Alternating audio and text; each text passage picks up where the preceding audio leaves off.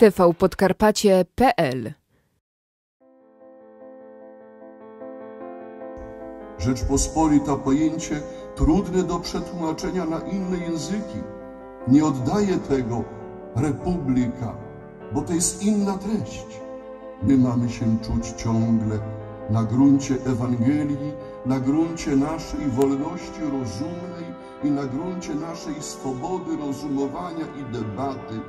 Mamy się czuć i chcemy się czuć rzeczą pospolitą, w której głos pojedynczego mieszkańca może być równie ważny jak głos króla i często bywał równie ważny, jeśli na celu ma dobro wspólne, jeśli chce pomnażać dobro.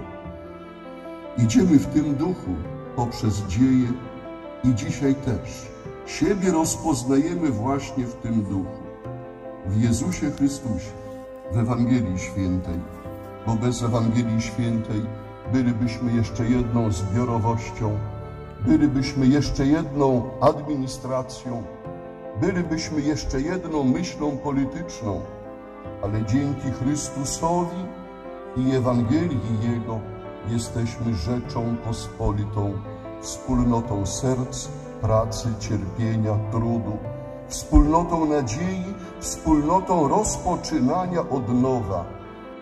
Chrystus dając siebie i przychodząc niczego nie ogranicza, ale dodaje człowiekowi siebie samego, swoją moc, swoje życie, swoje boskie miłosierdzie i swoją miłość.